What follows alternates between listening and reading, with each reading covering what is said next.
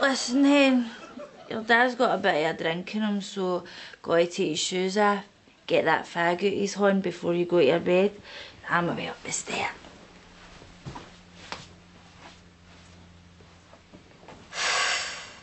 New from Ciderson's Games, it's Take Your Dad's Shoes Off Hen.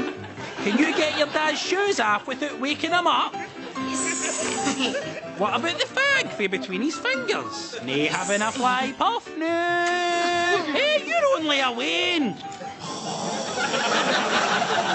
and if you're feeling really brave, you could try and knock a tenner for that wallet in his trousers. Oh! Get yourself to fuck. Take your dad's shoes off, Hen, from Ciderson's.